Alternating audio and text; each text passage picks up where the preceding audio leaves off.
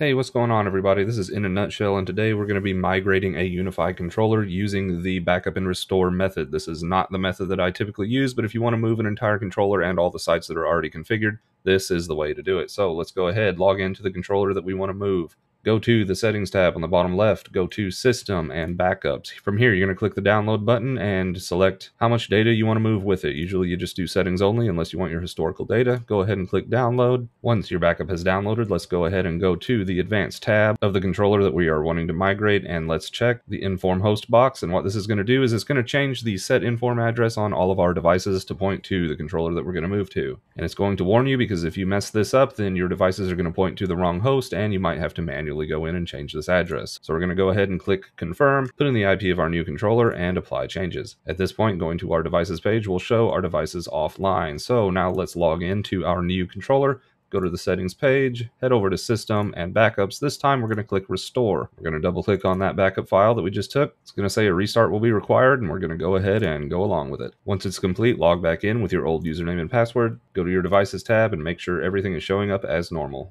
Your devices will go through the getting ready and provisioning stage again as they migrated to a new controller, but at this point, you have now migrated your controller using the backup and restore method.